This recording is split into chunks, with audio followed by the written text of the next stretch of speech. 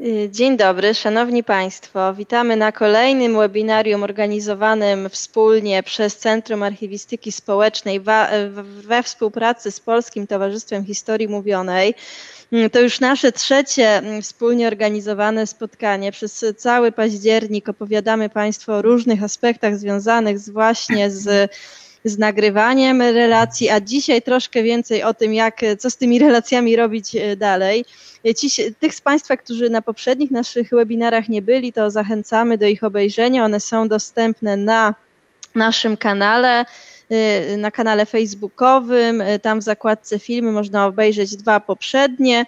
Y, no i dzisiaj, dzisiaj nasze trzecie, przedostatnie spotkanie. Bardzo mi miło, jest z nami Katarzyna Bok-Matuszyk ze Środka Pamięć i Przyszłość, która w tymże ośrodku, zresztą pewnie części z Państwa doskonale znanym, bo to jeden z wiodących ośrodków, jeśli chodzi właśnie o historię mówioną Polsce i Katarzyna w tym ośrodku mm, kieruje działem badawczym, a oprócz tego również aktywnie działa w Polskim Towarzystwie Historii Mówionej, gdzie, gdzie pełni funkcję wiceprezesa. No i również w swoich zainteresowaniach badawczych, wymieniach właśnie wykorzystanie historii mówionej w badaniach nad przeszłością, ale również popularyzacją historii, czy taką praktyczną stroną realizacji projektów związanych z historią mówioną, więc y, po tej mojej y, zapowiedzi już oddaję w takim razie głos. Oczywiście zachęcamy y, Katarzynie i zachęcamy też Państwa do zadawania pytań w komentarzach na końcu naszego webinaru. Prowadząca chętnie na nie odpowie. Także ja już na ten moment tutaj znikam. Kasiu, zapraszam do poprowadzenia tego spotkania. Dzień dobry, dziękuję bardzo Ada za tą miłą prezentację. Dziękuję też za zaproszenie, za to, że mogę e, tutaj e, z Państwem podzielić się moim doświadczeniem, bo to chciałabym zrobić przede wszystkim w tej prezentacji, mówiąc o tym, w jaki sposób e, można wykorzystywać historię mówioną czy relacje historii mówionej w różnych działaniach w obszarze kultury.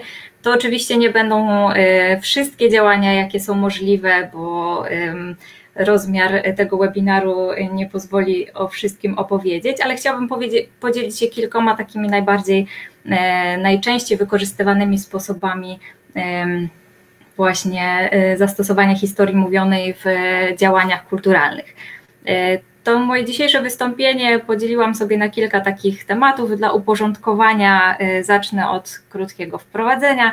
Następnie chciałabym pokazać, w jaki sposób y, w oparciu o doświadczenie instytucji, w której pracuję, w jaki sposób od celów związanych z historią mówioną nastąpiła ta droga przejście do konkretnych działań w obszarze kultury z wykorzystaniem historii mówionej i jej niesamowitego bogactwa i potencjału.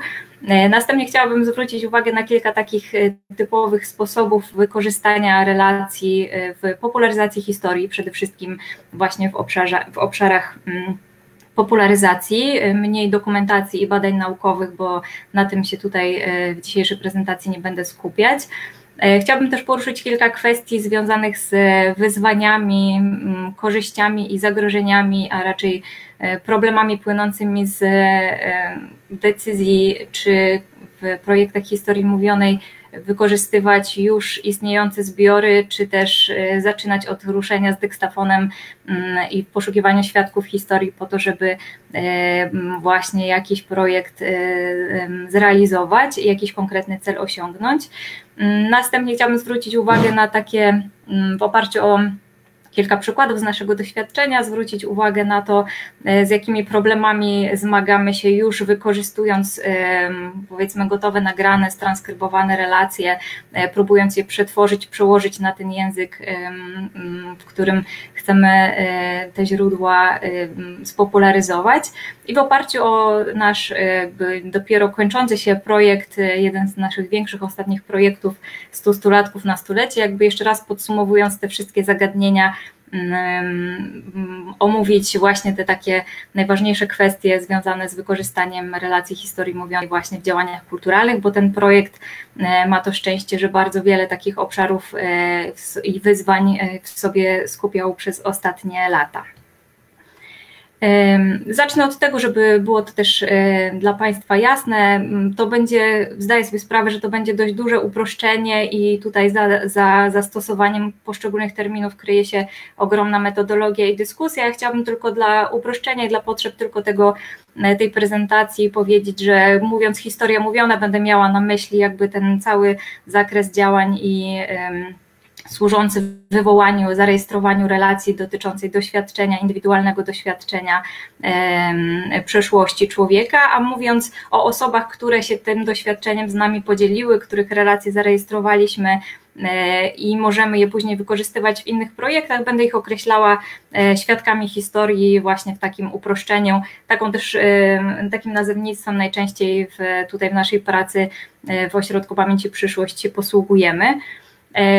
Jak Ada wspomniała, pewnie części z Państwa instytucja kultury z Wrocławia, Ośrodek Pamięci Przyszłość jest dość, dobrze znana. Dla tych, którzy, którym znane nie, nie jest, chciałabym tylko powiedzieć, że to jest e, właśnie instytucja kultury, która od 2007 roku działa we Wrocławiu, powołana e, początkowo jako Narodowa Instytucja Kultury, podlegająca pod Ministerstwo Kultury, później Instytucja Miasta Wrocław, co wiązało się też troszeczkę ze zmianą e, obszaru zainteresowań. Obecnie od 2016 roku działamy w naszej siedzibie w Centrum Historii Zajezdnia. To jest dawna e, zajezdnia autobusowa, w której w 1980 roku rozpoczął się strajk Solidarności e, z Wybrzeżem. To jest o tyle istotne, że jest to miejsce pamięci, które też troszeczkę zmieniło spektrum naszych zainteresowań e, dotyczących też świadków historii, czy jakby poszerzyło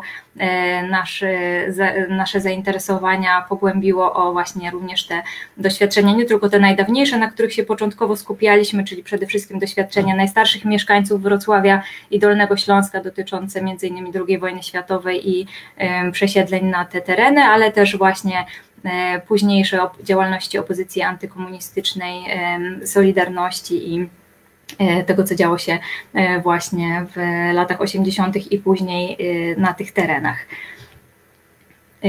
Od początku działalności instytucji, jakby w obszarze, który jest znacznie szerszy, ale mówiąc tylko o obszarze związanym z historią mówioną, wskazałabym takie trzy cele, które, które są wspólne dla bardzo wielu instytucji kultury, organizacji, fundacji, organizacji pozarządowych, które w jakiś sposób stykają się czy biorą udział w tworzeniu zasobów archiwum historii mówionej. Jest, e, były takie trzy cele, e, z których pierwszym celem było właśnie budowanie zasobu archiwalnego i muzealnego, który miał posłużyć pod przyszłą ekspozycję stałą. Gdy ośrodek był powoływany w 2017, 2007 e, roku, przepraszam, to jego celem było stworzenie w przyszłości Muzeum Ziem Zachodnich. Ta, ten cel się zmienił w międzyczasie, natomiast idea właśnie zgromadzenia jak największej ilości osobistych pamiątek mieszkańców tych terenów, ziem zachodnich i północnych, przede wszystkim wrocławian i dolnoślązaków, po to, aby stworzyć ekspozycję opowiadającą o powojennej historii, o wymianie ludności na tych terenach, o powojennej historii właśnie tego regionu. Jakby w pewien sposób, w naturalny sposób Y, poprowadziło to do wykorzystania metody historii mówionej po to, żeby zebrać właśnie osobiste opowieści o tym doświadczeniu, a potem w jakiś sposób ukazać je właśnie na takiej ekspozycji. W związku z tym y, historia mówiona, nagrywanie relacji y, świadków historii było jednym ze sposobów właśnie stworzenia y, tego zasobu archiwalnego, który miał później posłużyć między innymi do stworzenia tej ekspozycji, ale też do realizacji różnych innych projektów w obszarze popularyzacji tej historii. Zawsze tej idei wywoływania relacji, rejestrowania wspomnień towarzyszyło też zbieranie pamiątek, tworzenie też takiego właśnie archiwum, w którym e, można by w depozyt choćby cyfrowy powierzyć właśnie te cenne osobiste pamiątki, które e, które między innymi przywieziono tutaj na te tereny, które też zastano tutaj e, i z których korzystano, które były, stanowiły też dorobek kolejnych pokoleń na tych terenach. E, bez wątpienia takim istotnym celem było też e, to, co się wpisuje w ten nurt historii ratowniczej, bardzo dobrze znany wszystkim osobom związanym z Centrum Archiwistyki Społecznej, czy w ogóle z, z, z ruchem archiwów społecznych. To znaczy właśnie zachowanie przed, przed zapomnieniem tych historii, które odchodzą wraz z najstarszymi osobami, które doświadczyły chociażby II wojny światowej czy powojennych przesiedleń na te tereny. W związku z tym to był bardzo silny taki nurt, żeby jak najwięcej tych historii zarejestrować, póki mm, mamy możliwość y, porozmawiania o osobistym doświadczeniu ludzi, którzy nie byli w tym czasie jeszcze małymi dziećmi, wiele pamiętają, wiele przeżyli i, i chcą się z tym podzielić. Także w odpowiedzi na jakby inicjatywy lokalnych jakichś tutaj organizacji czy instytucji czy organizacji właśnie może bardziej reprezentujących poszczególne doświadczenia, takie doświadczenia chociażby Związku Sybiraków czy, e, czy tego typu zrzeszeń e, będących jakby chroniących pamięć o poszczególnych doświadczeniach, chociażby z okresu II wojny światowej. E, takim trzecim ważnym celem było budowanie społecznego otoczenia instytucji, która dopiero się mm, rodziła, jakby powstawała, była nową, nowym bytem. E, tworzenie tego otoczenia poprzez gromadzenie wokół instytucji, wokół idei jej przyświecającej ludzi, którzy chcieliby się zaangażować w jej tworzenie, ale którzy też poczuliby się jej e, współgospodarzami, którzy poczuliby, że e, historia, którą tutaj opowiadamy, którą chcemy opowiedzieć, będzie ich historią i oni jakby mają istotny wkład w to, w jaki sposób ona zostanie opowiedziana i co będzie zawierać, e, jaki poziom też osobistych doświadczeń e, tutaj się znajdzie. E, temu trzeciemu celowi i później temu piątemu wyróżnionemu na prezentacji poświęcę jeszcze później chwilę uwagi. Natomiast w międzyczasie e, pojawił się też jeszcze kolejny cel, jakim było rozwijanie samej metody historii mówionej, to znaczy od początkowych nagrań, które odbywały się powiedzmy bez e, bardziej skomplikowanych założeń metodologicznych, po prostu e, z próbą jak, zarejestrowania jak największej ilości wspomnień, niekoniecznie z zastosowaniem skomplikowanych metod, na przykład metody wywiadu biograficznego, którą staramy się teraz stosować, natomiast początkowo, z początku działalności instytucji mamy bardzo wiele nagrań krótkich, kilkunastominutowych, kilkudziesięciominutowych, które zapisują jakieś konkretne doświadczenie, to jest o tyle e, o tyle szkoda, że, e, że nie od początku e, tak dużą uwagę przykładano siłą rzeczy do do jakby tworzenia, e, opierania się na, na tej metodologii. Są braki, których nie jesteśmy w stanie już teraz uzupełnić, to znaczy e, czasami wyrywkowe fragmenty historii ludzi, którzy przyszli na jakąś wystawę i po prostu skorzystali z okazji, że mogli przy okazji tej wystawy opowiedzieć o swoim doświadczeniu, na przykład przesiedlenia, ale nie poznamy już całej ich historii, gdyż jest to już po prostu nie ma możliwości trafić do tych osób, większość z nich niestety już nie żyje. Y, to rozwijanie metody urzeczywistniło się przede wszystkim w powołaniu Wrocławskiego Rocznika Historii Mówionej, pewnie większości z Państwa znane czasopismo naukowe, które, do którego lektury serdecznie zachęcam, e, ale również do publikacji. Jeśli mogę tutaj wtrącić taką reklamę przy okazji, zachęcamy do tego, żeby, e, żeby Państwo też wyniki swoich badań i relacje ze swoich projektów tam publikowali. Ośrodek zaangażował się też w, w pracę Polskiego Towarzystwa Historii Mówionej, ale też w propagowanie e, samej historii mówionej poprzez e, propagowanie też metody nagrywania wywiadu, opracowywanie relacji, realizując cykliczne warsztaty, e, na których zapraszamy co roku czy kilka razy do roku też instytucje, czy organizacje pozarządowe, czy studentów, czy wszystkich zainteresowanych, którzy chcieliby nagrywać relacje, a nie wiedzą, jak sobie poradzić z różnymi specyficznymi trudnościami, które w tych w relacjach z ze świadkami historii, czy jakby w całej kontakcie z tym, z tą materią mogą, e, mogą tutaj powstać.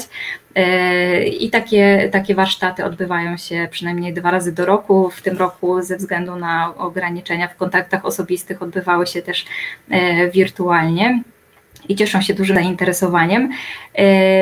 Co roku też ośrodek przyznaje granty dla młodych badaczy, jakby wesprzeć jeszcze ich tutaj działania w kierunku prowadzenia badań naukowych właśnie z wykorzystaniem metody historii mówionej.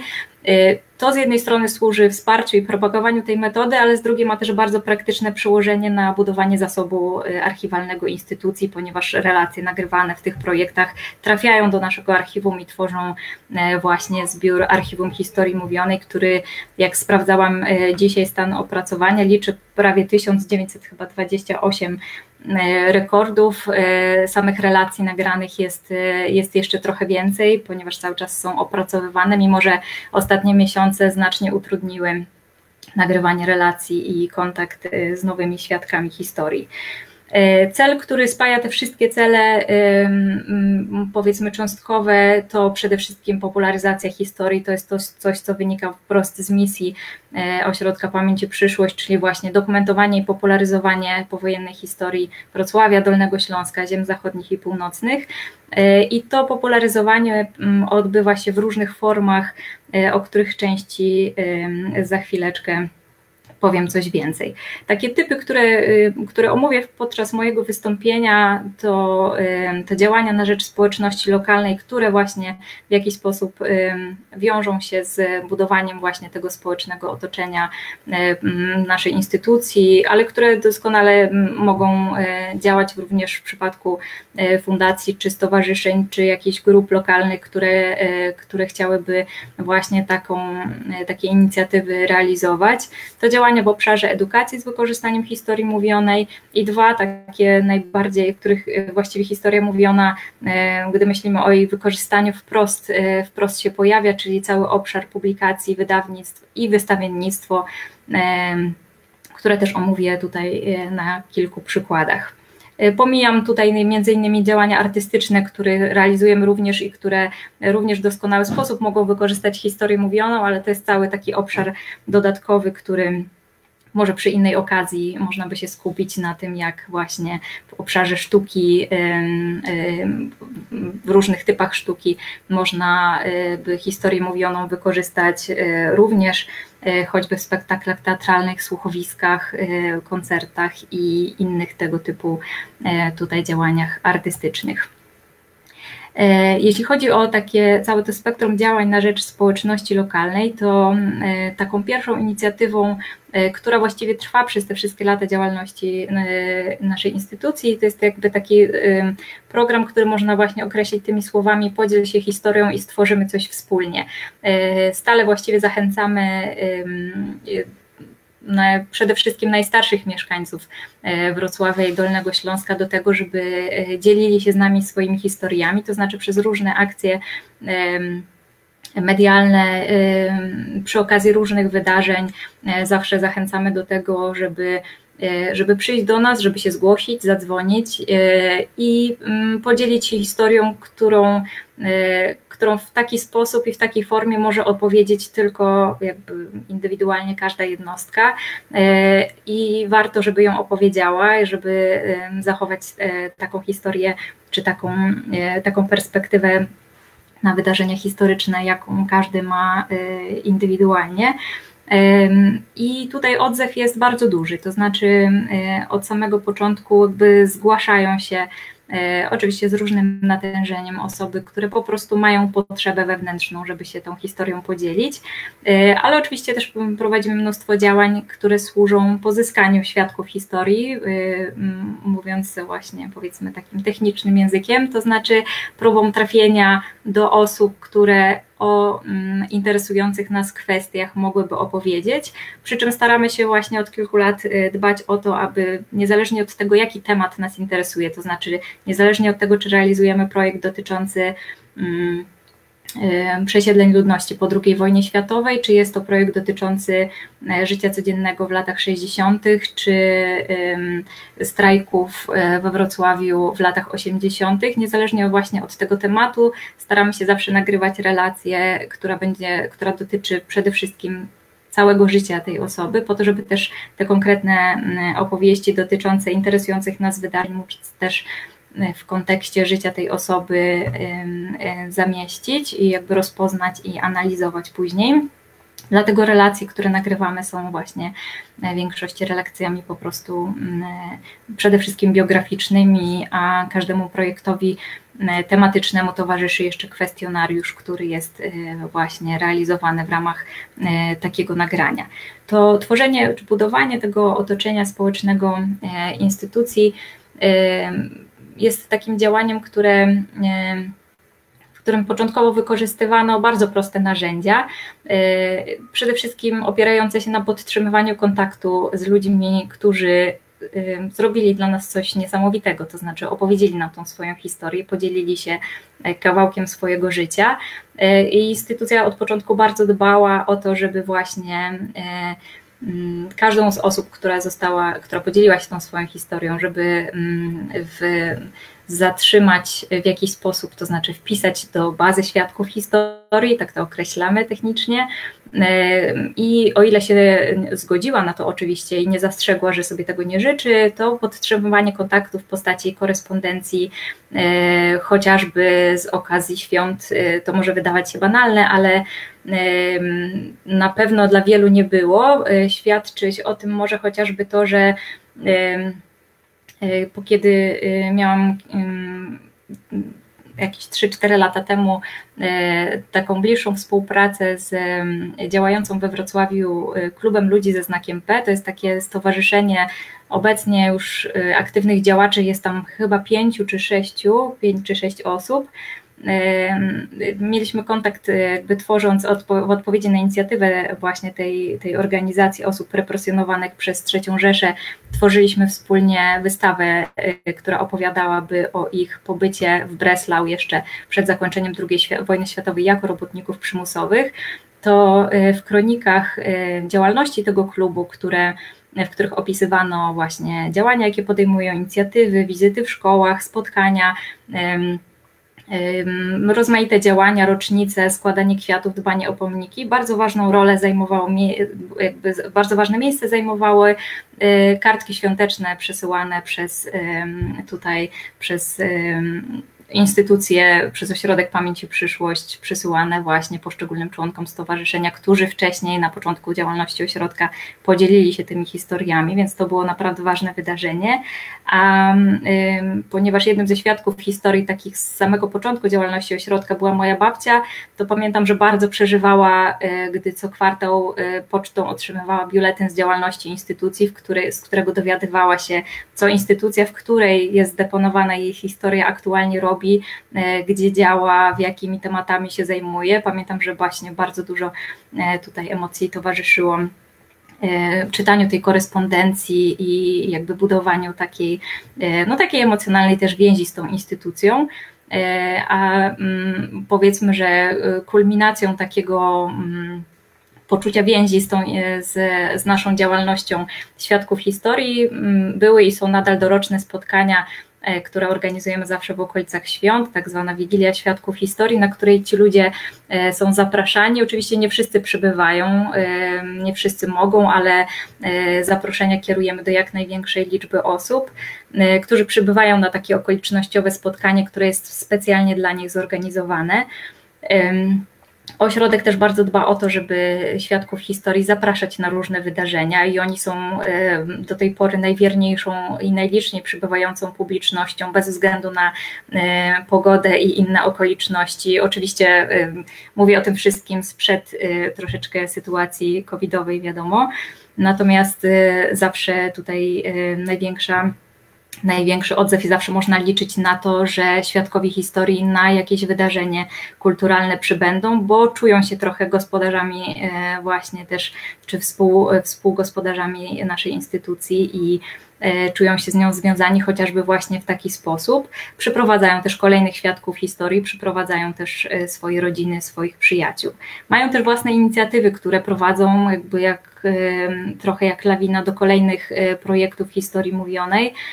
Taką, takim ciekawym przedsięwzięciem było była inicjatywa duszpasterstwa ludzi pracy sprzed dwóch lat. Y, było to ciekawe, dlatego że y, zgłosiło się do nas y, kilku przedstawicieli właśnie tego duszpasterstwa. To była organizacja, która rozpoczęła działalność pod koniec lat 70. w sąsiedztwie naszej dzisiejszej siedziby, w, mm, niemalże w obrębie właśnie tej parafii, przy której duszpasterstwo działało, istnieje Centrum Historii Zajezdnie obecnie. Inicjatywa polegała na tym, że członkowie tego duszpasterstwa ludzi pracy, ci, którzy działali od samego początku, właśnie pod koniec lat 70., obecnie już w większości państwo w podeszłym wieku, jakby zapragnęli wypełnić lukę w, właśnie w zapisie własnej e, historii własnego stowarzyszenia e, i wymyślili sami taki sposób, na który nas zaprosili, tak jakby trochę potrzebowali czy chcieli, aby w tym ich osobistym spotkaniu wziął udział ktoś, kto właśnie zarejestruje te historie. To było spotkanie e, zorganizowane w ich dawnej siedzibie, czyli trochę w takich katakumbach właśnie kościoła, w którym spotykali się E, w okresie jeszcze właśnie u początków swojej działalności. I to było spotkanie, które oni sami zorganizowali, które, e, na które przygotowywali pytania, na które kilka osób uczestniczących w tym spotkaniu miało kolejno opowiadać, jakby rekonstruując historię właśnie tego e, stowarzyszenia, powstania jakby tej, tej organizacji, początków działalności, a nas poproszono o to, aby właśnie przyszedł ktoś od nas i to spotkanie nagrał, a następnie opracował tę historię. E, podeszliśmy do tego dość sceptycznie. Przyznaję, że właśnie miałam bardzo wiele wątpliwości na temat tego, e, jak będzie wyglądało to takie trochę jakby uzgadnianie wspólnej pamięci e, na temat tej, mm, tutaj tych wydarzeń, zwłaszcza, że tej idei przyświecało troszeczkę mm, tak jakby odpowiedź na na wersję tej historii, która niekoniecznie podobała się wszystkim tutaj działaczom, y, czy jakby tym, tym początkowym działaczom duszpasterstwa. Natomiast y, okazało się to spotkanie niesamowitym punktem wyjścia do nagrywania dalszej, dalszych już indywidualnych relacji. Poza tym, że, y, że spotkanie było bardzo ciekawe i jednak wbrew temu, czemu się obawialiśmy, pokazano na nim, czy jakby poszczególne osoby pokazywały różne perspektywy i pamiętały o różnych wydarzeniach i raczej uzupełniały się niż, niż wspólnie jakby powtarzały tę samą wersję. Natomiast y, właśnie później pozwoliło nam to już jakby wejść trochę bardziej w to środowisko, nagrać indywidualne e, wywiady z poszczególnymi uczestnikami też tego spotkania, co jest też ciekawym materiałem później do e, konfrontacji, czy jakby do, do analizy e, tego, co, co było opowiadane też na tym spotkaniu wspólnym. To jeszcze przed nami ta analiza, ale spotkanie to zaowocowało też taką współpracą na polu właśnie też ochrony ich spuścizny, to znaczy e, przy zaangażowaniu też wolontariuszy ośrodka e, pracujemy nad tym, żeby zabezpieczyć ogromną spuściznę działalności tego duszpasterstwa, zwłaszcza z lat 80. i przynajmniej w wersji cyfrowej zachować ją też w naszych zbiorach. Tak jak wspomniałam już, wspomniałam o wolontariacie, to jest też taki obszar, który, który, który rozwijamy, angażując e, wolontariuszy też w kontakty ze świadkami historii. To, to, to, ma takie bardzo też praktyczne przełożenie. Zauważyliśmy, że czas mija i naszym świadkom historii chociażby jest coraz trudniej dotrzeć na nasze spotkania, a z pomocą wolontariuszy jest to bardzo możliwe. Wiele osób dzwoniło do nas, że bardzo chętnie by wzięło udział w jakimś spotkaniu, i natomiast y, fizycznie nie mogło tego zrobić. Z pomocą naszych wolontariuszy y, jest to, y, jest to możliwe. W obszarze edukacji historię mówioną można by właściwie wykorzystać bardzo łatwo na wiele różnych sposobów. Takim pierwszym działaniem powiedzmy takim cyklicznym, który ośrodek realizował, był taki konkurs świadkowej historii, w których zachęcaliśmy e, młodzież, w, początkowo gimnazjów i szkół średnich, obecnie przede wszystkim e, no, starsze klasy szkół podstawowych i klasy licealne, do tego, żeby w określony, na określony temat, e, którym były na przykład ginące zawody albo lokalni sportowcy, czy inne tego typu tego typu tematy, aby znaleźć we własnym otoczeniu, w lokalnym środowisku osobę, która posiada ciekawą historię, żeby tą historię nagrać e, i w jakiś sposób ją zaprezentować, czyli jakby przekazać e, do oceny komisji konkursowej już przetworzoną jakby prezentację czy wykorzystanie e, właśnie relacji historii mówionej osoby, którą, z którą taki uczeń pod opieką nauczyciela mógł porozmawiać. Ten konkurs odbywa się cyklicznie i pomysły na prezentacje są coraz ciekawsze, y, od tworzenia prac plastycznych y, z wykorzystaniem zdjęć, cytatów i materiałów powstałych podczas nagrania, po tworzenie dwa lata temu, z tego co pamiętam, powstawały nawet jakieś ciekawe filmy, prezentacje też multimedialne, które takie historie prezentowały.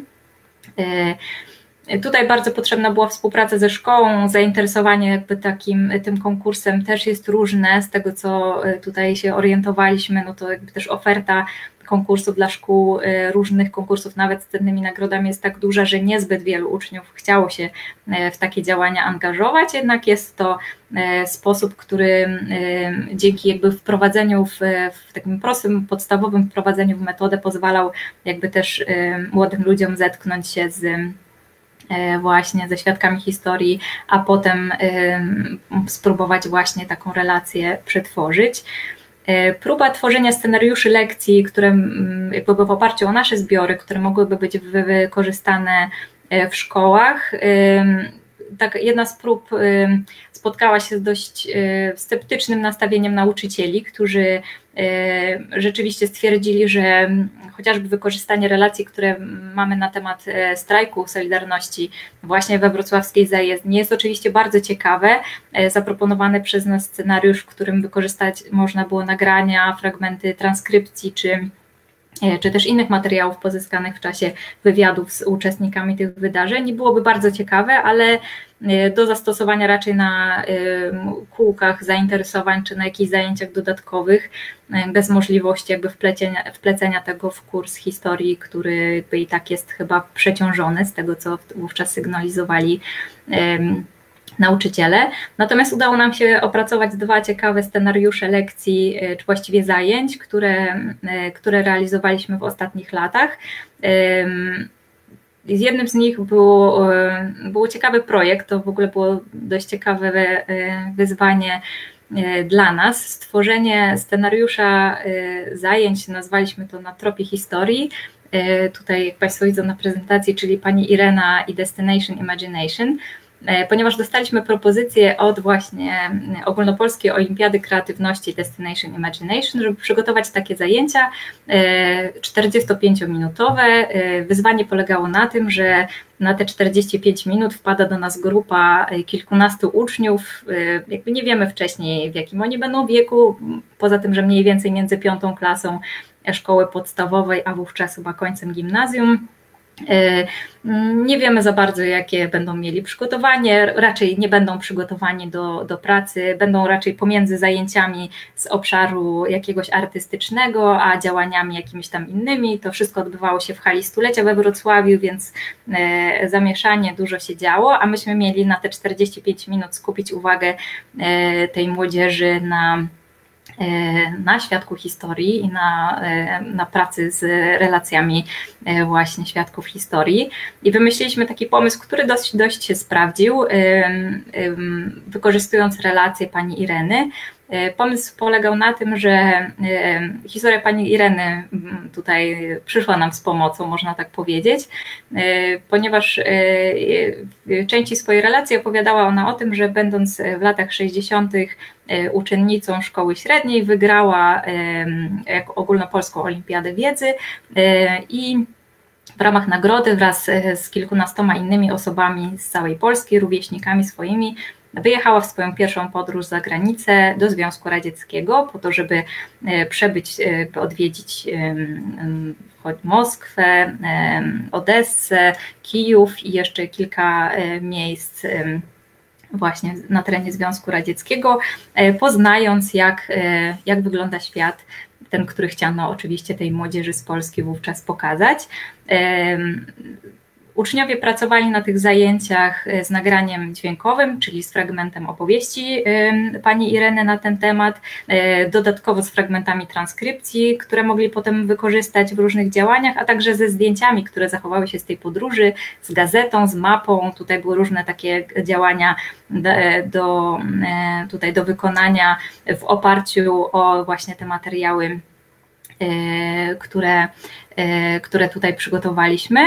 I No i to zadziałało. Kończyło się też jakimś działaniem artystycznym, żeby właśnie tak te dzieci mogły spokojnie wybiec do następnych działań. E, kończyło się właśnie jakimś tutaj tworzeniem pracy e, plastycznej, związanej troszeczkę z tym, o czym e, uczniowie się dowiedzieli, właśnie analizując relacje pani pani Ireny. I drugi scenariusz, który realizowaliśmy w ramach projektu Pełnoletnie 1918-2018, to był projekt wykorzystujący dwie relacje y, historii mówionej dotyczące II wojny światowej, y, dwóch osób zupełnie, o zupełnie różnych doświadczeniach wojny, y, dwóch Polaków, którzy właśnie w różny sposób II wojnę światową doświadczyli. I tutaj pomysł zasadzał się na tym, żeby potraktować relacje historii mówionej jako jedno z wielu różnych źródeł które można ze sobą konfrontować, wyciągając różne informacje na temat przeszłości, e, właśnie na temat e, analizować właśnie to źródło w, jakby w zestawieniu z innymi źródłami.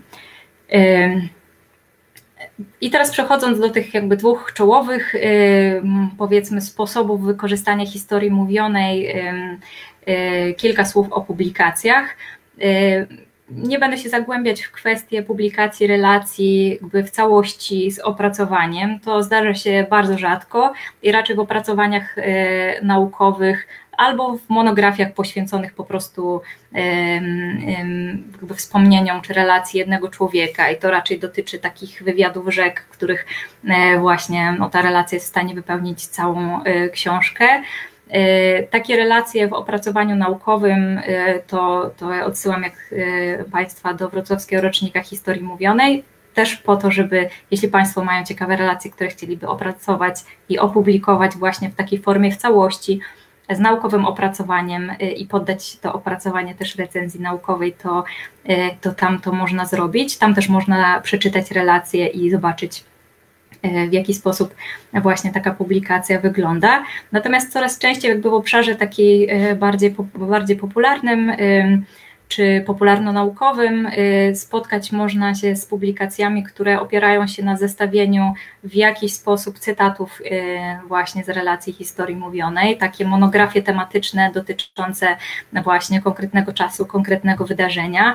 E, jako przykład tutaj naszej, z naszej działalności E, chciałam wspomnieć o książce Obertyn opowieści o życiu miasteczka pod redakcją Piotra Zubowskiego i e, Michaliny Jakimowicz. E, jest to książka, która jest niesamowita z wielu względów i bardzo zachęcam, żeby do niej zerknąć. Między innymi jest niesamowita dlatego, że pokazuje historię miejsca z perspektywy ludzi, którzy mieszkali w tym miejscu przed wojną, w czasie wojny doświadczyli różnych rzeczy, E, właśnie w tym miejscu i poza jego e, tutaj obrębem, a następnie część z nich została, część wyjechała, część zginęła i to dotyczy przede wszystkim żydowskich mieszkańców, przedwojennych żydowskich mieszkańców tego miasteczka na dzisiejszej Ukrainie. I autorom tej monografii udało się zebrać historię właśnie tych ludzi, którzy, która została tak, ta historia zestawiona, jakby oni trochę ze sobą rozmawiali i wspominali wspólnie.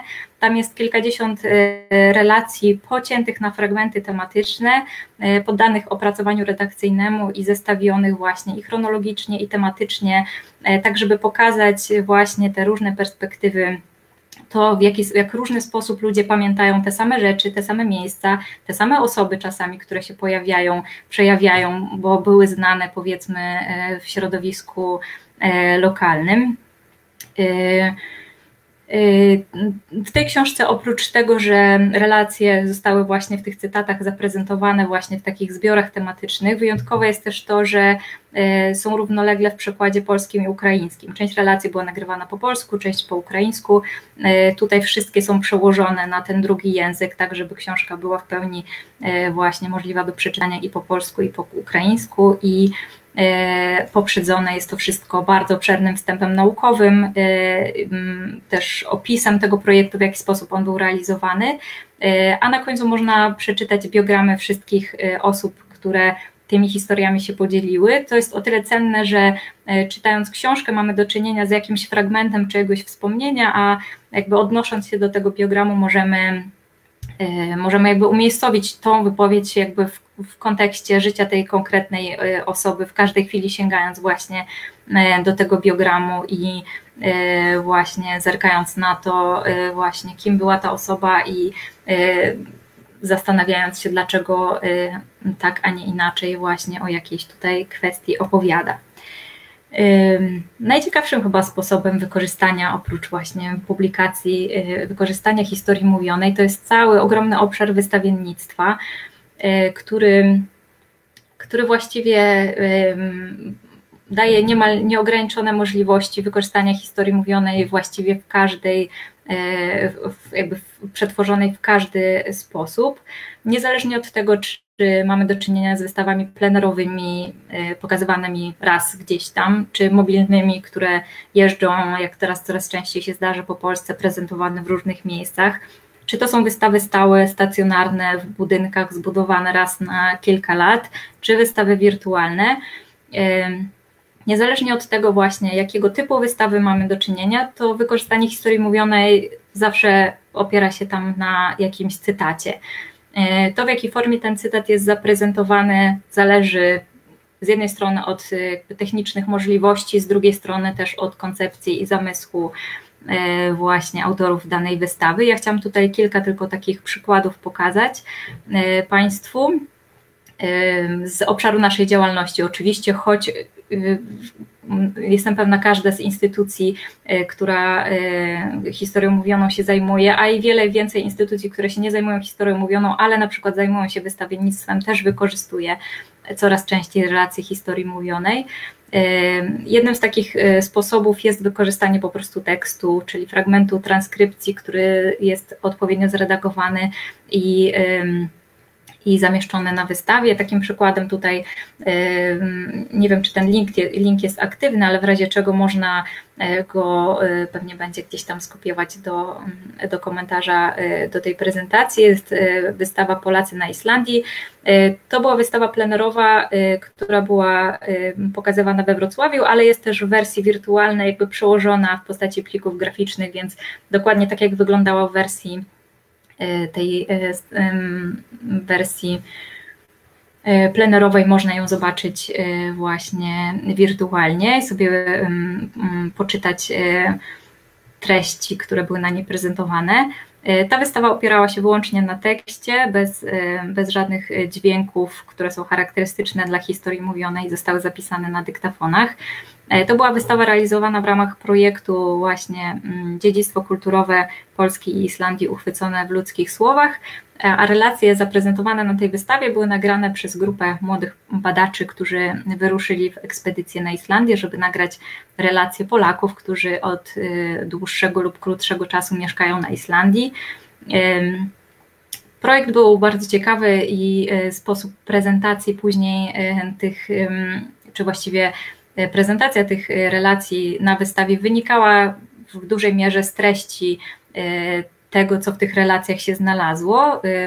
To jest od razu można, można tutaj powiedzieć o jakby dwóch sposobach pracy później z materiałami, z relacjami historii mówionej. Można albo wymyślić sobie koncepcję wystawy i szukać cytatów, które, które będą nam tutaj pasowały do tej naszej koncepcji, albo można przeanalizować zbiór relacji, które mamy na dany temat i zobaczyć, co z tego e, ciekawego można, jaką narrację można tutaj ułożyć. I tutaj właśnie ten, ten drugi sposób został wykorzystany, ponieważ e, te relacje nagrane na Islandii stworzyły jakby taki dość spójny zbiór, e, były nagrywane z wykorzystaniem e, tego samego kwestionariusza, więc podobne kwestie pojawiały się w wypowiedziach różnych osób. W związku z tym by ta koncepcja tej wystawy opierała się niejako na tym, co się w tych relacjach najczęściej pojawiało, czy co było charakterystyczne, albo też co było wyjątkowe, y, co można było z tych spostrzeżeń Polaków mieszkających na Islandii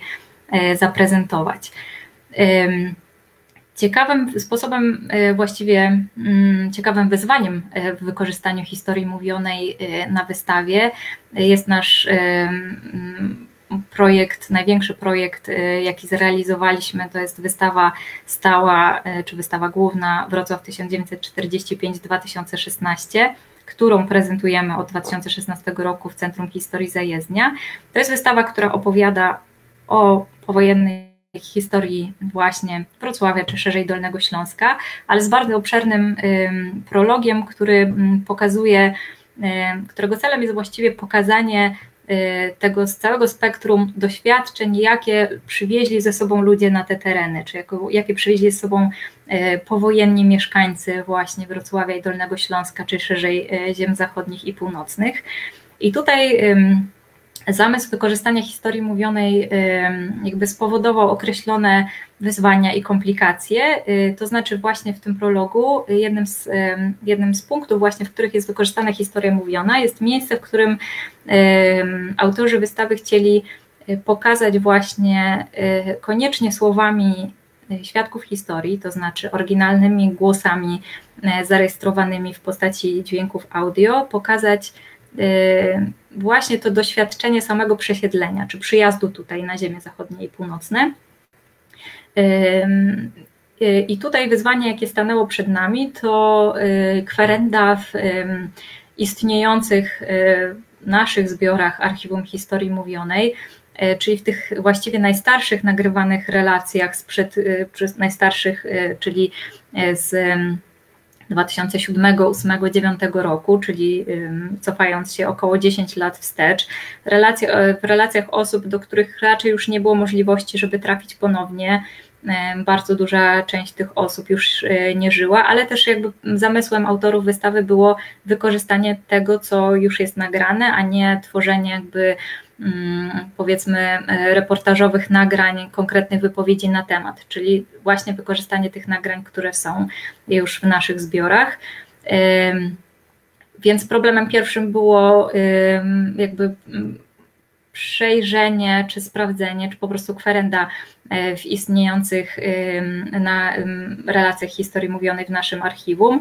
E, sprawa jest o tyle jakby uproszczona, że wszystkie relacje, które są w naszych zbiorach mają transkrypcję, więc e, jest o wiele łatwiejszy sposób przeszukiwania. Nie trzeba było koniecznie przesłuchiwać całości, żeby znaleźć interesujący wątek czy temat. Relacje są też w dużej mierze opracowane tematycznie hasłami otagowane, więc, y, więc w łatwy sposób można było tutaj dokonać tej selekcji.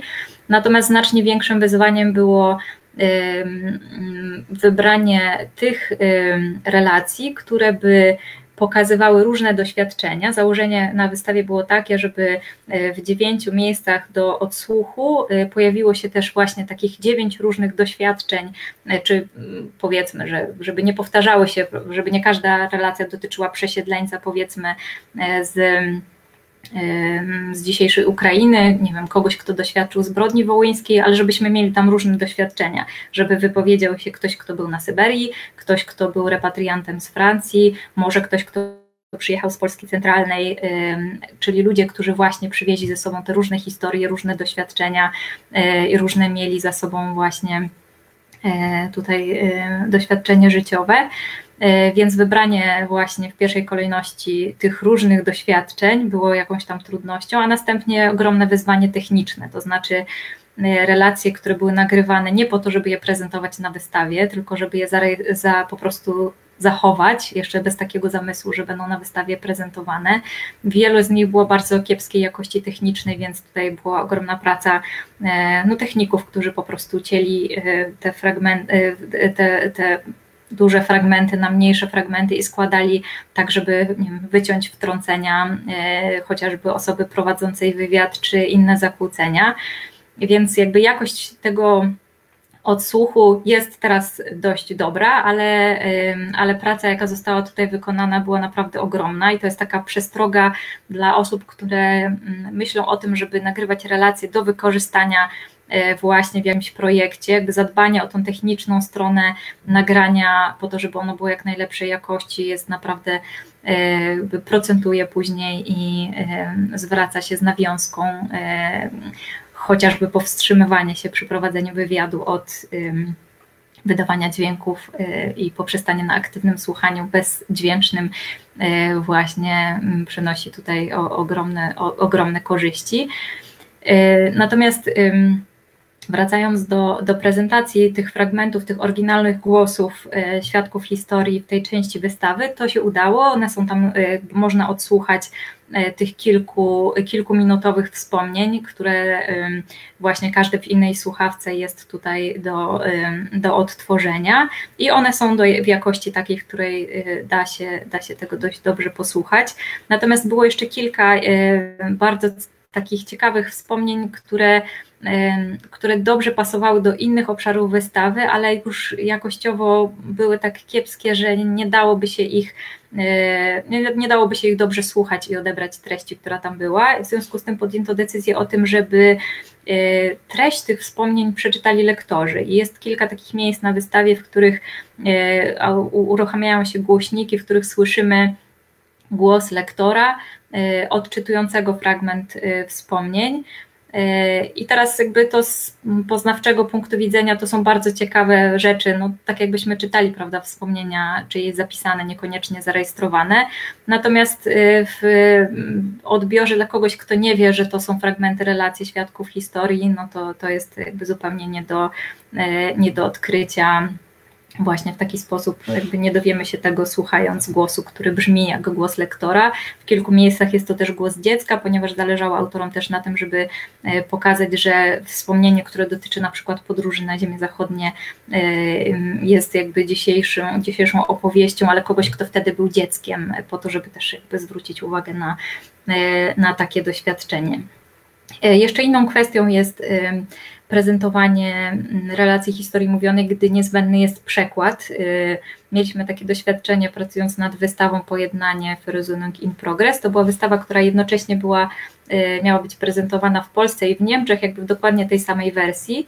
I tutaj na tej wystawie y, mieliśmy zaprezentować fragmenty trzech wywiadów, które zostały nagrane konkretnie do tego projektu, więc tutaj jakby jakość staraliśmy się o to, żeby była możliwie dobra. Natomiast tutaj zastosowano takie rozwiązanie, żeby po jakby było to nagranie tylko dźwiękowe, więc nie można było nie wiem, podłożyć napisów, tak żeby osoba niemieckojęzyczna mogła sobie po prostu przeczytać to co, y, to, co mówi świadek historii na nagraniu i zastosowano takie rozwiązanie, y, że po głosie świadka historii była tam sekundowa przerwa i następnie jakby tę samą treść odczytywał lektor właśnie w tym drugim języku, ale nie było wątpliwości, że to jest, tak to było też opisane, że jest to tłumaczenie tego E, wspomnienia, a głosy lektora łatwo było zidentyfikować.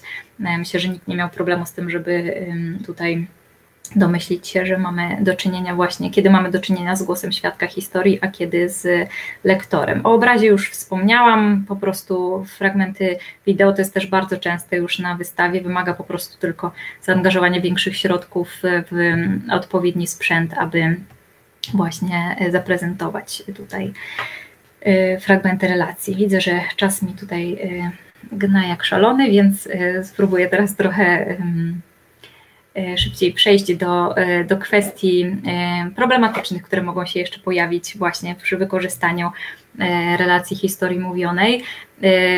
W zależności od tego, jaką koncepcję przyjmiemy e, projektu, który chcemy realizować, czy jak, z jakim typem projektu my będziemy mieli do czynienia, e, właściwie niezależnie od tego, zawsze staniemy przed pytaniem, czy szukać w ogromnych już zasobach e, archiwów historii mówionej, zgromadzonych w wielu instytucjach w całej ziemi, na, na ziemiach zachodnich, przepraszam, w wielu instytucjach w całej Polsce, ale też przez liczne organizacje pozarządowe i fundacje nagrywanych do ich zbiorów czy w poszczególnych projektach.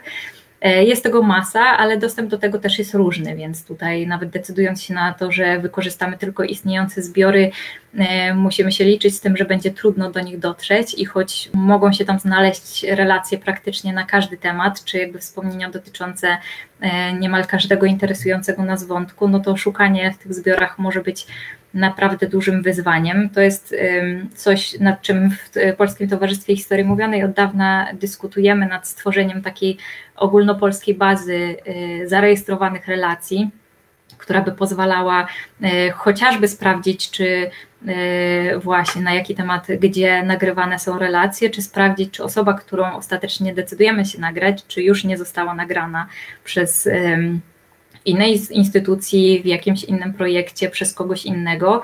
E, to jest też zjawisko, z którym się spotykamy czasami w naszej działalności, to znaczy e, zdarzało nam się nagrywać relację biograficzną jakiejś osoby, która pod koniec nagrania albo zupełnie przy jakiejś innej okazji e, gdzieś tam napomykała o tym, że już ktoś ją nagrał, że przecież jej relacja jest też już gdzieś, nie wiem, w Warszawie, w Krakowie, gdzieś indziej. Ostatnio przecież ktoś u nas był i mm, ta osoba nawet nie do końca wiedziała, kto u niej był i kto ją nagrywał ale takie sytuacje się też zdarzają. To jest coś, co jest, e, stoi właśnie jako wyzwanie dla, dla osób zajmujących się historią mówioną, żeby taką może kiedyś bazę e, Centrum Informacji stworzyć, ale coraz e, więcej instytucji, jakby przynajmniej informacje o posiadanych relacjach udostępnia online, więc te kwerendy też są coraz łatwiejsze. Tutaj odsyłam zwłaszcza do E, do działalności Domu Spotkań z Historią i wspaniałego e, portalu, który, w którym udostępniają, e, udostępniają relacje historii mówionej. No to jest trochę szukanie igły w stogu siana czasami, jeżeli te relacje nie są opracowane, ale jest to często jedyna możliwość trafienia do historii, których już na żywo nie usłyszymy, więc potencjał jest ogromny. Natomiast ograniczenia techniczne i prawne y, są też wyzwaniem, które musimy brać pod uwagę. Z jednej strony te technikalie, w zależności od tego, jak chcemy wykorzystać te relacje, mogą nam stać na przeszkodzie, prawda? Nie do każdej relacji y, jakość ich zachowania będzie y, odpowiednio dobra, jeśli chcemy na przykład zaprezentować te relacje w postaci plików, w postaci dźwięku czy w postaci obrazu. Natomiast ograniczenia prawne też mogą nam e, tutaj, czy jakby zakres zgody osoby, która udzieliła wywiadu, czy opowiedziała swoją historię, może też nas w jakiś sposób e, ograniczać. E, rozwiązaniem na to może być oczywiście nagrywanie kolejnych relacji, przy czym tutaj Mamy również e, cały szereg wyzwań czy trudności, jakie stoją przed nami, chociażby to, że no, do wszystkich świadków nie trafimy, czy do świadków wszystkich wydarzeń też już nie trafimy.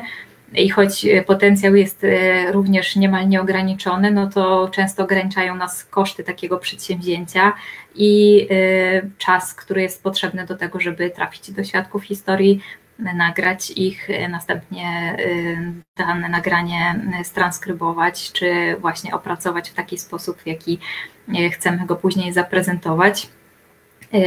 No i co zrobić też, gdy będzie tego wszystkiego za dużo, jak sobie tutaj z tym poradzić.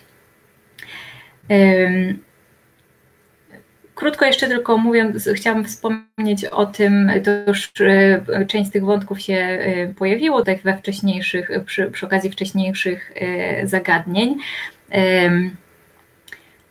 Zwłaszcza przy okazji wystaw mówiłam o tym, że generalnie wykorzystanie historii mówionej w różnych projektach osadza się, czy sprowadza się właściwie do cytatu.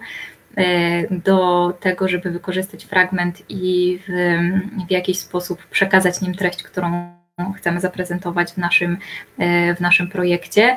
W zależności od tego, jaką koncepcję przyjmiemy, możemy zdecydować o tym, czy e, historia mówiona w postaci wypowiedzi świadków historii będzie osią, czy będzie tworzyła sama w sobie narrację, tylko opatrzoną jakimiś komentarzami naszymi, czy też w ogóle nie. E, czy też będzie, e, czy cytaty będą służyły tylko ilustracji tego, co chcemy powiedzieć słowami e, autora wystawy, czy autora scenariusza, czy autora książki, czy będzie, będzie opisem do zdjęć, czy będzie właśnie jakimiś takimi wtrąceniami mającymi nadać taki bardziej osobisty charakter opowieści, którą tworzymy. Niezależnie od tego właśnie, jaką koncepcję przyjmiemy, to zawsze staniemy przed wyzwaniem zakresu edycji czy redakcji cytatów, z którymi będziemy mieli do czynienia. I tutaj jakby problematyka jest ogromna, bo pracując nad przygotowaniem cytatów do publikacji, czy fragmentów relacji historii do, do publikacji, trzeba wziąć pod uwagę bardzo dużo różnych kwestii związanych chociażby z wymogami edycyjnymi. E, to w zależności od tego, czy publikujemy w ramach e, określonej instrukcji wydawniczej, czy tworzymy jakby tutaj własną koncepcję, to zawsze musimy się kierować jakimiś przyjętymi zasadami. musimy pamiętać o tym, że jeżeli wykorzystujemy relację historii mówionej w druku, czyli w postaci cytatów tek tekstowych drukowanych, musimy poddać je takiej redakcji, żeby były zrozumiane też w postaci pisma. Często jest tak, że y, nie mamy problemu ze zrozumieniem y, przesłania, które wypowiada świadek historii, czy tego, co słyszymy na nagraniu, natomiast dosłowny zapis tego, co, co powiedział, zapis słów, które powiedział, może wprowadzać w błąd, może, może być w jakiś sposób, czy zawsze jest w jakiś sposób interpretacją też intencji, y, które ktoś chciał wypowiedzieć. Może też prowadzić do jakichś przekształceń tego, y, co, co osoba y, powiedziała, do jej opinii czy do, do słów po prostu. Może też być niezrozumiały ze względu na specyfikę języka mówionego, na to, że zapis gramatyczny będzie się znacznie różnił od przyjętych norm gramatycznych, czy wplatanie sformułowań gwarowych, czy różnych innych wtrąceń będzie utrudniało odczytanie tekstu tak, żeby on był zrozumiały. W związku z tym trzeba tutaj zawsze właściwie przy każdym zdaniu redaktor takich fragmentów podejmuje e, decyzje i e, zmaga się z dylematami, e, co zostawić, aby nadal były to słowa tej osoby, a co zmienić też, czy jakby zredagować tak, żeby nie narazić tej osoby też na śmieszność ze względu na to, że jej sposób wypowiadania wyda się zbyt prosty, może właśnie mm, zbyt, no właśnie, zbyt niezbyt elegancki i wykształcony. W związku z tym tutaj jakby dbałość o też dobre imię naszego świadka historii może odgrywać jakieś, jakąś rolę w, w zakresie edycji e, cytatów, które poddajemy publikacji. Kolejnym wyzwaniem jest też e, przekład, który wykorzystujemy w ramach e, takiego projektu. To jest przekład, który właściwie już tej specyfiki języka nie odda, E, natomiast powinien oddawać się w jakiś sposób styl, e, czy, e, no, czy możliwie dosłownie treść wspomnień naszego, naszego rozmówcy. I takim wyzwaniem też jest zawsze przy doborze cytatów, też mogą być oczekiwania autorów relacji. To dotyczy szczególnie projektów, w których nagrywamy relacje w, w konkretnym celu, to znaczy mamy projekt, w którym E, informujemy naszych rozmówców, że na przykład pracujemy nad książką, w której chcemy opublikować te relacje e, i wiemy, że zarówno ten świadek historii, jak i jego rodzina, najbliższe otoczenie będą pierwszymi, najbardziej gorliwymi czytelnikami e, właśnie tej publikacji. W związku z tym Tutaj taką, takim rolą redaktora jest też podjęcie decyzji na ile właśnie w jaki sposób pracować też z tym tekstem i w jakiej formie go opublikować. Y, w zależności też od tego, jaką koncepcję przyjmiemy, dobieramy też cytaty po prostu. Nie jesteśmy w stanie zaprezentować wszystkiego, a niektóre cytaty zaprezentowane w książce możemy opatrzyć na przykład komentarzem, przypisem czy, czy jakąś dyskusją, natomiast na przykład wystawa już nie daje takich możliwości, prawda? Y, więc siłą rzeczy wybieramy takie y, fragmenty, które y, na przykład na wystawie pasują do jakby narracji, którą chcemy opowiedzieć. Oczywiście autor odpowiada za to, jakie cytaty wybierze i jaki fragment historii y, zaprezentuje. No i on właśnie podejmuje też decyzję o tym, których fragmentów nie zaprezentuje, choćby niosły nie wiadomo jak ciekawe treści. To tak jak mówiłam w publikacji, w, w książce, w tekście naukowym możemy to poddać dyskusji, czy właśnie opatrzeć jakimś komentarzem. Na wystawie takiej możliwości nie mamy. W praktyce e, pewnie w większości przypadków jest tak, że e, kłopotliwy cytat, mam na myśli taki, który właśnie budzi jakieś kontrowersje, czy wymaga komentarza właśnie uwzględniającego aktualny stan wiedzy historycznej e, albo zawierający kontrowersyjne opinie właśnie naszego rozmówcy, no, musimy podjąć decyzję, czy go właśnie na przykład na wystawie e, opublikować, czy nie. Podsumowując te wszystkie kwestie, które tutaj poruszyłam, chciałabym pokazać jeszcze pokrótce, jak to wyglądało właśnie w tym projekcie, o którym wspomniałam na początku, projekcie 100 stulatków na stulecie. To jest projekt, który, którego realizacja rozpoczęła się w 2017 roku. Jego jakby podstawowym celem było powiedzmy uczczenie stulecia niepodległości Polski z wykorzystaniem, jakby z, tworząc mm, powiedzmy e, z wykorzystaniem historii mówionej, można by tak powiedzieć, w skrócie największym. E, otóż celem tego projektu było zarejestrowanie 100 relacji biograficznych najstarszych Polaków, którzy by mogli opowiedzieć o tym stuleciu historii Polski, ostatnich 100 latach historii Polski ze swojej osobistej perspektywy. Pierwszym celem było zarejestrowanie tych relacji, czyli w ogóle trafienie do tych ludzi, zarejestrowanie relacji biograficznych właśnie najstarszych Polaków. E, drugim e, jakby takim wymiernym efektem było później e, opracowanie kolekcji archiwalnej z tych materiałów, a następnie przygotowanie, właściwie nie następnie, tylko w trakcie realizacji projektu, bo już przed zakończeniem tego etapu nagrywania przygotowanie wystawy plenerowej, która miała podróżować po Polsce od 2018 roku, czyli e, od e, tej e, właśnie setnej rocznicy niepodległości, miała podróżować po Polsce i prezentować jakby częściowe wyniki tego projektu, a następnie przygotowanie publikacji, która by zbierała te 100 relacji i właśnie opowiadała o tej historii ostatniego stulecia Polski z perspektywy ludzi, którzy te 100 lat przeżyli. E, specyfiką tego projektu była przede wszystkim grupa świadków historii, e, tych najstarszych Polaków, ponieważ jakby obawialiśmy się na samym początku, planując ten projekt, że nie uda nam się trafić do 100 e, osób właśnie urodzonych w 1918 roku, które zgodzą się opowiedzieć nam swoje historie, ale też które po prostu będą fizycznie w stanie nam te swoje historie opowiedzieć, to rozszerzyliśmy umownie troszeczkę tą grupę do osób, które urodziły się w 23 roku i wcześniej. E, najstarszy nasz rozmówca y, urodził się w 1904 roku, o ile dobrze pamiętam, albo 14. Nie chcę teraz, e, nie chcę teraz Państwa w błąd wprowadzać, ale to na pewno można sprawdzić łatwo.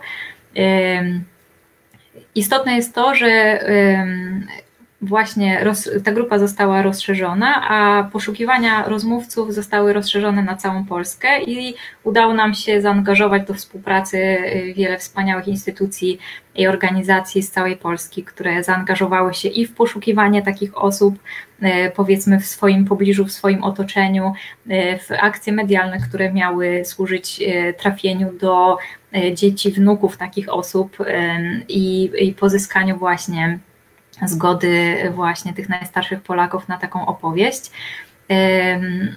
No jakby specyfika tego projektu też jest taka, że, że była to ostatnia chwila, żeby dotrzeć do wielu osób e, faktycznie. Teraz, gdy kończyliśmy pracę nad książką, e, w spisie biogramów e, przy prawie co trzeciej osobie zaznaczaliśmy, że w trakcie realizacji tego projektu jakby ta osoba już nie zmarła, więc y, to była naprawdę ostatnia chwila, żeby te, te relacje zarejestrować.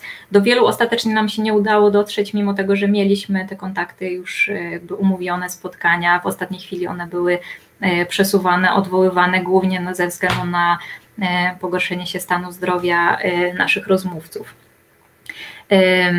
Więc jakby to, jeśli chodzi o, o specyfikę samych rozmówców. E, efektem tego projektu, tak jak mówiłam, miała być kolekcja źródeł, wystawa i publikacja, a wszystkie wywiady, mm, które były nagrywane mm, przez naszych partnerów, przez instytucje partnerskie, miały też jakby zasilić ich e, kolekcje, instytucjonalne kolekcje. W związku z tym, jakby relacje z tego projektu można częściowo znaleźć w kilku instytucjach w Polsce, między innymi w Domu Spotkań z Historią, czy w Centrum Kultury y, imienia Zamenhofa w Białymstoku, y, czy Muzeum Sikieleckiej na przykład, ale też w wielu innych instytucjach. Całość kolekcji jest właśnie w zbiorze Ośrodka Pamięci Przyszłość. We wszystkich wywiadach, oprócz właśnie tej części biograficznej, miała być zastosowany kwestionariusz, który przygotowaliśmy na potrzeby tego projektu i on dotyczył e, przede wszystkim e, jakby takich pytań dotyczących dwudziestolecia międzywojennego. To jest wyjątkowa okazja, w której mieliśmy możliwość rozmawiania z ludźmi, którzy to dwudziestolecie bardzo dobrze pamiętają, bo pamiętają je jako duże, powiedzmy starsze dzieci, nastolatkowie, jako dorośli. w wielu przypadkach. Więc były to pytania o dwudziestolecie międzywojenne, oczywiście jakby doświadczenie wojny i y, już y, dorosłe życie po wojnie, ale także pytania dotyczące jakby takiej y, perspektywy 100 lat.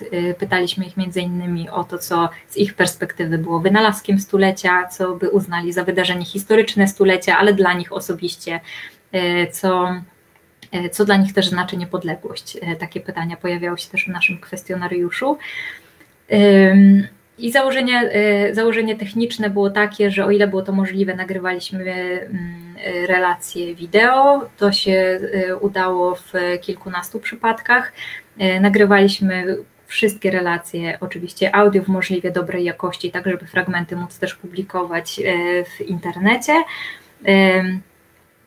Natomiast wszystkie relacje były też poddawane transkrypcji i opracowaniu merytorycznemu i archiwalnemu. E, natomiast jeżeli chodzi o zakres e, tutaj mm, praw autorskich i mm, zakres e, ochrony danych osobowych, to tutaj były uzgadniane te kwestie z poszczególnymi instytucjami, które nagrywały te relacje. Każda z takich instytucji ma swoje prawa, czy prawo jest wspólne oczywiście dla wszystkich, ale ma swoje regulacje dotyczące zakresu pozyskiwania e, zgód na przetwarzanie czy na wykorzystanie później tych relacji. Staraliśmy się jakby uzyskać zgodę naszych rozmówców na to, żeby właśnie te relacje mogły być udostępniane w ramach e, naszych archiwów, aby mogły być wykorzystane na wystawie i w publikacji i w badaniach naukowych, jakiekolwiek będą podejmowane e, w oparciu o te źródła. Oczywiście każdy z rozmówców miał możliwość zastrzeżenia części z tych praw lub zażądania autoryzacji y, właśnie zarówno samej relacji po jej nagraniu, czy po transkrypcji, jak i y, później sposobów jej wykorzystania. Kilka z tych osób rzeczywiście sobie zastrzegło.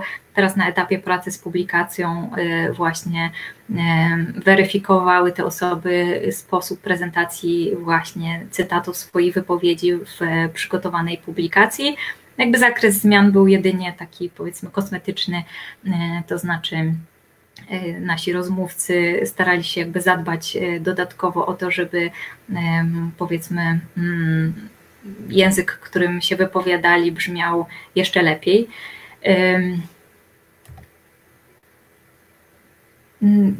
Pierwszym efektem, oprócz właśnie powstałej kolekcji źródeł, była wystawa, którą przygotowaliśmy już w pod koniec pierwszego roku realizacji projektu, czyli właśnie w 2018 roku.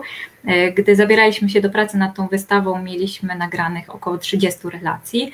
E, I jakby koncepcja e, tej wystawy polegała, jakby też opierała się na tym, co zawierały te, te relacje. Już jakby pobieżna ich jakby zapoznanie się z, takie pobieżne z treścią tych relacji pokazywało, że, że jakby przede wszystkim przebijają się jakby dwie, e, dwie epoki w tych opowieściach, to znaczy nasi rozmówcy bardzo wiele miejsca poświęcają okresowi dwudziestolecia międzywojennego, e, trochę więcej, ale bardzo dużo miejsca doświadczeniu wojennemu, a później to już się żyło y, i właściwie to życie przeleciało szybko i już nie ma za dużo do opowiadania, y, prawda?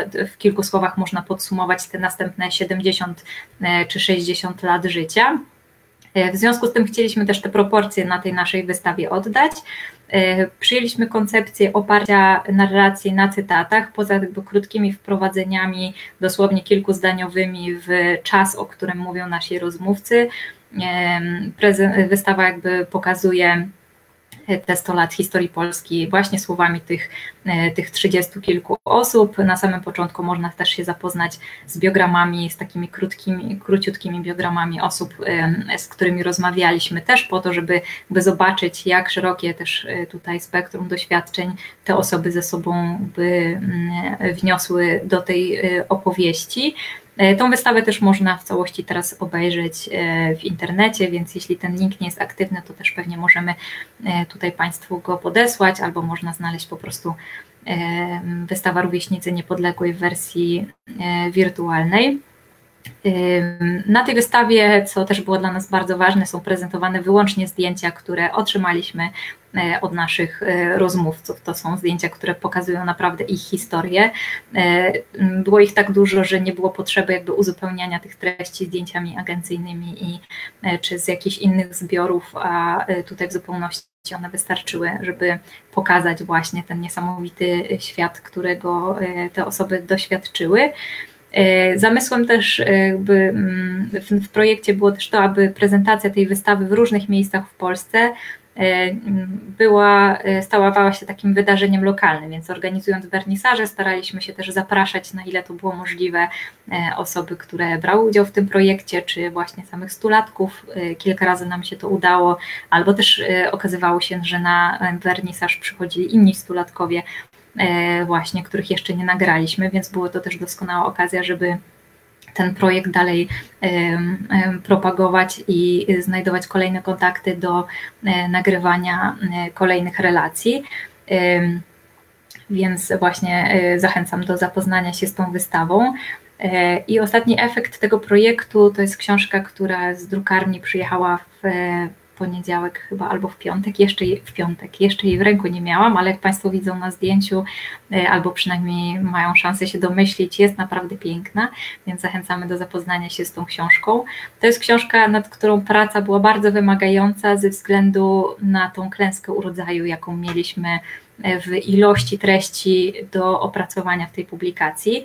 E, zamysł redaktorów był taki, żeby jakby trochę powielające ten schemat zaprezentowany na wystawie, to znaczy pokazanie znów tej, tego stulecia słowami naszych rozmówców, tylko z krótkimi wstępami takimi kontekstowymi, e, z minimalną ilością przypisów e, wyjaśniających o postaci, które się pojawiają gdzieś tam w tych treściach, e, czy częściej nawet słowa obcojęzyczne czy gwarowe wtrącane przez naszych e, rozmówców.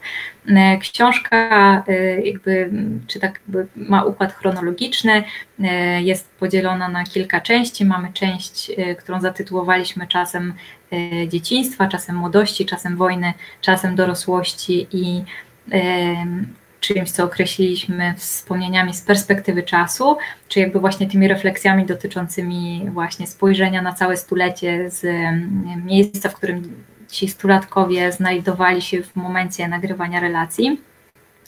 E, no, skala była taka, że ostatecznie udało nam się za, zarejestrować 96 wywiadów gdyż e, jakby działania, które miały się kończyć na początku tego roku, już zostały utrudnione przez ograniczenia epidemiczne, e, więc do ostatnich tych kilku osób, do których mieliśmy dotrzeć, aby mieć rzeczywiście tą symboliczną liczbę stu nagrań, nie udało nam się dotrzeć. W związku z tym w książce zaprezentowane są faktycznie te relacje, które nagraliśmy blisko 100 relacji. Y, tych osób, które urodziły się wtedy, y, gdy mm, powstawała y, po zaborach niepodległa Polska. I te relacje zostały właśnie też troszeczkę jakby poszatkowane na, na tematy, które się pojawiają, na wątki i uporządkowane właśnie w takiej dialogowej jakby formie w takiego właśnie trochę wielogłosu na temat e, przeszłości, tego jak wyglądało życie codzienne, jak wyglądało dzieciństwo, dom rodzinny. Mamy tutaj tak szerokie też spektrum doświadczeń od jakby e, ludzi, którzy którzy urodzili się gdzieś na wsi, skończyli dwie klasy szkoły podstawowej i potem wiedli proste życie gdzieś w gospodarstwie e, rodziców, potem swoim i ciężko pracowali przez całe życie, po osoby wysoko wykształcone z tytułami naukowymi, e, jeżdżące po świecie i e, jakby z taką też trochę inną perspektywą swojego życia, ale to bardzo ciekawe, że w wielu tych miejscach udało się pokazać jakby wspólnotę pewną doświadczeń, ale też różnice doświadczeń różnych perspektyw na, na te same kwestie więc tutaj e, udało się nam to zebrać. Podstawowym problemem w pracy nad e, tym efektem było właśnie e, był dobór cytatów, ponieważ przyjęliśmy sobie założenie takie, ponieważ wiemy, że każdy z tych stulatków i każda z tych rodzin bardzo czeka na tą książkę. Oni wszyscy byli informowani o tym, że powstanie taka publikacja. Bardzo nam zależało na tym, żeby każda z osób, która wypowiada się, która udzieliła nam swojego wywiadu, która podzieliła się swoją historią, żeby pojawiła się w tej książce co najmniej kilka razy w postaci swoich wypowiedzi. To niestety jakby wymagało od nas bardzo skrupulatnego zestawiania ilości cytatów z każdej z osób, e, dopasowywania do e, poszczególnych tematów. To znaczy, mieliśmy wywiady, w których powiedzmy tak, wypisaliśmy sobie początkowo kilkadziesiąt zagadnień, które chcielibyśmy pokazać w książce, które pojawiały się w relacjach.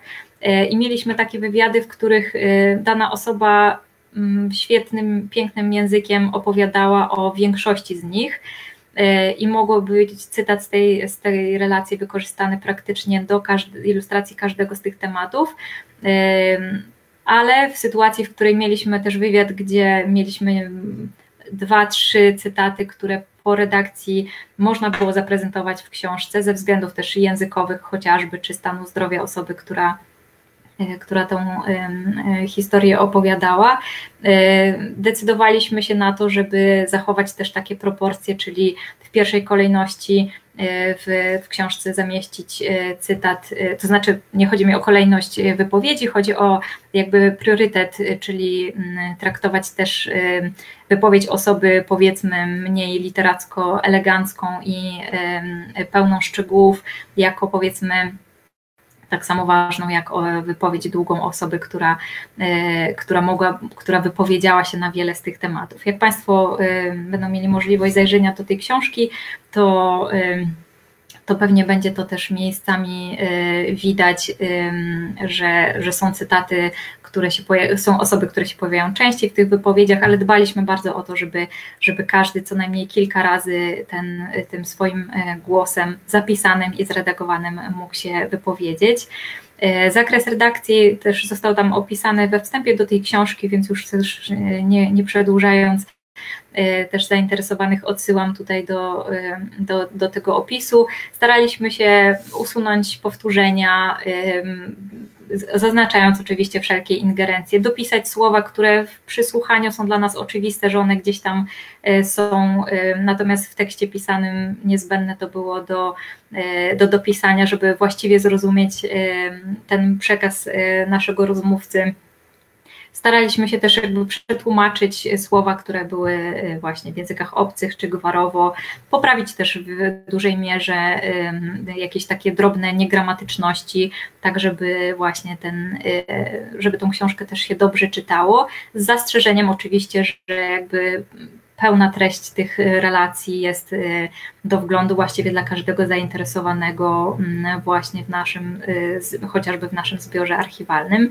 Specyficznym problemem było też e, stworzenie jakby tego, e, nazwaliśmy to galerią tych naszych e, stulatków, czyli takiej części w książce, w której prezentujemy też te biogramy, ponieważ w dużej mierze opieraliśmy, przyjęliśmy taką zasadę, że będziemy się opierać na informacjach wyciągniętych z relacji tych biograficznych, tworząc ten krótki biogram.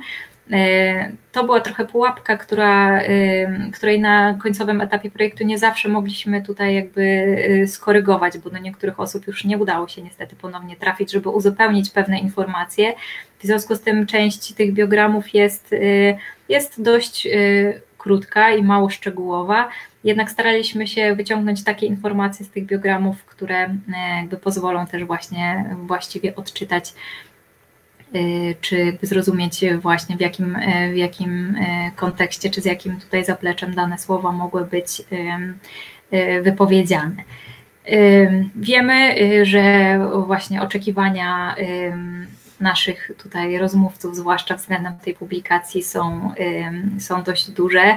Jeżeli chodzi o oczekiwania innych tutaj środowisk, które są tą publikacją zainteresowane, to mam nadzieję, że już niedługo będziemy mogli e, mm, tutaj się dowiedzieć też od Państwa, jak Państwo odbierają taki sposób wykorzystania relacji e, świadków historii.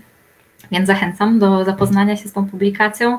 E, a na koniec jeszcze jedną mam tylko tutaj do Państwa taką właściwie trochę taki apel, ponieważ przypuszczam, mm, wiele, wielu z Państwa nagrywa relacje jakby poza różnymi instytucjami czy organizacjami, albo właśnie w organizacjach, które, które działają projektowo i które nie zawsze dbają o tym, o, o, to, żeby te relacje powiedzmy przetrwały dłużej niż działalność właśnie, czy jakby istnienie projektu, to zachęcamy bardzo i to jest też apel, myślę, że całego mm, tutaj Polskiego Towarzystwa Historii Mówionej, aby znajdować takie instytucje w Państwa otoczeniu, które bardzo chętnie przyjmą i zabezpieczą relacje, które Państwo już nagrali, aby one nie przypadały w, no właśnie po zakończeniu powiedzmy trwałości projektu, czy e, funkcjonowania, nie wiem, portalu na przykład internetowego. E, dziękuję Państwu bardzo za uwagę. Mam tutaj jeszcze e, pytania od Państwa, to już bardzo króciutko e, sobie pozwolę tutaj odpowiedzieć. Jest pytanie, czy zdarzają się sytuacje, gdy świadkowie nie zgadzają się na użycie nagrania, na przykład tylko na nagranie i archiwizację, ale nie do wystawy? Tak, zdarzają się takie sytuacje. Bardzo rzadko, naprawdę bardzo rzadko. Częściej i oczywiście wtedy szanujemy taką decyzję i ponieważ y, mm, zaraz po nagraniu y, relacji y, każdy ze świadków historii otrzymuje jakby oświadczenie, formularz oświadczenia z zakresem zgód, który podpisuje, abyśmy mogli właśnie bez problemu wykorzystać, czy też uszanować zgodę świadka na wykorzystanie jego relacji to jest tam miejsce na odnotowanie takich ograniczeń. To znaczy, możemy, jeżeli ktoś właśnie odnotowuje, że nie zgadza się na wykorzystanie wystaw, na wystawie, to, to szanujemy. Częściej zdarza się tak, że ktoś nie zgadza się na wykorzystanie jakiegoś fragmentu, bo opowiedział o czymś, o czym chciał opowiedzieć, ale nie chce, żeby to szło dalej, prosi o nie wiem, usunięcie tego fragmentu, zaznaczenie albo niewykorzystanie, choć najczęściej zdarza się y, prośba o to, żeby przed publikacją w jakiejkolwiek formie, e, żeby świadek historii miał możliwość wglądu w to, co chcemy opublikować. E, w tym ostatnim projekcie to się zdarzyło e, kilka razy i jakby akceptacja była właśnie, tak jak wspomniałam, jakby bez, bez problemu tego, w jakiej formie chcieliśmy to opublikować. Ktoś po prostu chciał wiedzieć, zanim to, to się ukaże. Y, pytanie drugie, y, czy ośrodek nagrywa relacje w czasie pandemii? Chwilowo nie nagrywa. Y, pracujemy nad tym, żeby w jakiś sposób tutaj podtrzymywać kontakt z naszymi świadkami historii, ale obecnie koncentrujemy się bardziej na tym, i wreszcie chyba trochę mamy na to więcej czasu, żeby opracowywać te relacje, to znaczy zajmować się tym, co już mamy. To jest niestety bolączka też jakby różnego rodzaju instytucji czy organizacji, które gromadzą, gromadzą, gromadzą, a jakby nie starcza czasu na też takie naukowe bardziej opracowanie tych relacji, czy przygotowanie właśnie opracowań naukowych, więc trochę nasze siły przekierowaliśmy właśnie w kierunku pracy z tymi mm, zbiorami, które przez ostatnie lata przyrastały, a były wykorzystywane właśnie w znikomym zakresie, w minimalnym zakresie. Y, jeszcze aha, to już nie jest pytanie, to jest tylko właśnie informacja, e, tak, e, że tutaj ktoś z Państwa chce się wybrać do Wrocławia, zapraszamy do Centrum Historii Zajezdnia. Dziękuję bardzo. Y, dziękuję bardzo. Y, naszym Państwa gościem była Katarzyna Bok-Matuszyk, y, Ośrodek Pamięci Przyszłość z Wrocławia, więc też trochę pojawiło się komentarze, że chętnie Państwo Wrocław odwiedzą. No miejmy nadzieję, że pandemia minie i będzie można również się tam wybrać. Bardzo dziękujemy Kasiu za to dzisiejsze wystąpienie, dziękujemy za uwagę. Relacja, to nagranie będzie dostępne na naszym Facebooku, więc ci z Państwa, którzy nie mogli być z nami na całości, będą mogli je obejrzeć, a już ze swojej strony zapraszam za tydzień na ostatnie webinarium z naszego cyklu prowadzonego wspólnie z Polskim Towarzystwem Historii. No i to będzie webinarium poświęcone archiwizacji i ja będę miała przyjemność je poprowadzić, więc mam nadzieję, że równie licznie e, Państwo na nie przybędą. Także dziękujemy i pozdrawiamy. Dziękuję.